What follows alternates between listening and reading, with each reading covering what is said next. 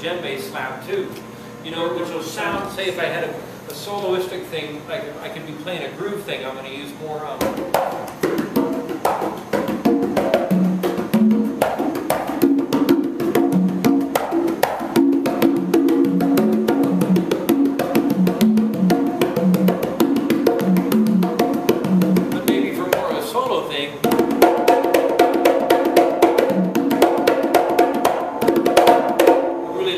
lot more soloistic or louder with my djembe slap. And I can still do the conga slap that way.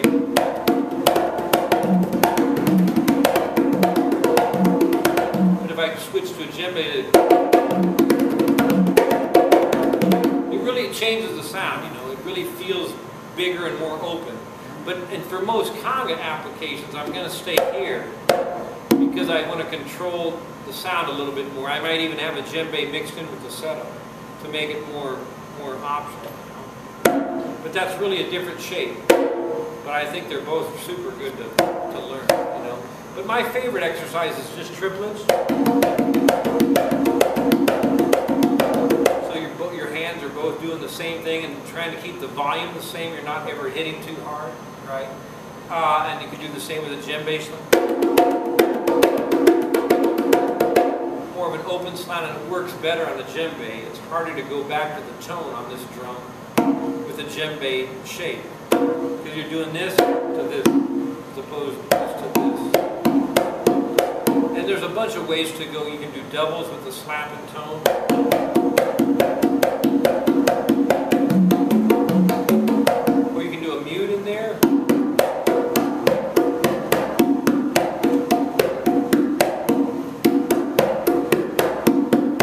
You're just practicing the mute between the two bass being there. And then I do practice uh, palm fingers, and all the palm fingers you don't see much on djembe, but you can now play that on a djembe and make the djembe sound different, right?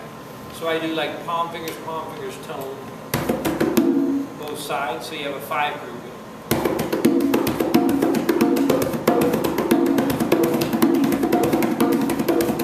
If I want to practice slaps, I'll do that. We're going to the other drum. So you kind of have a, a double stroke roll. you know? Yeah.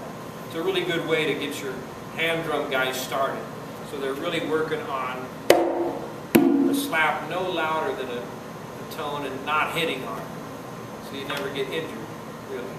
And still play after. Yeah, I never heard that before too. That's like being able to do a rim shot without changing position. Isn't that cool? Yeah. Yeah. I've never seen anybody really slap in the same position they're playing. That's that's really the key to going, switching back and forth fast. I think. You found that too. You've done that. Yeah, those are- Yeah. You, you play congas too? Just try it with me. You want to hit one? I bet we have a small enough class we can. You want to play one? Oh, I'm good. You're okay.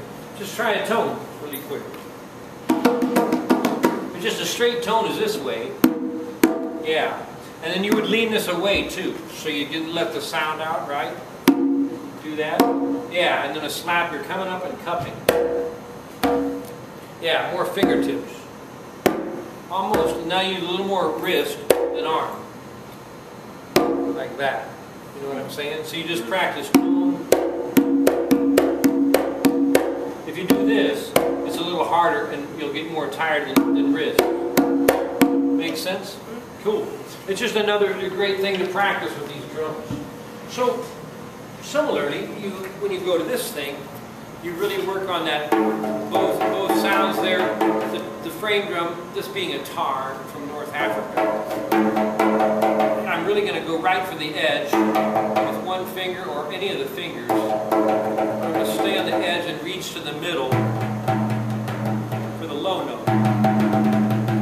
Right? That's a doom or a tone. Tone slap. We can call that doom tech. So you really have a, def, a, def, defined,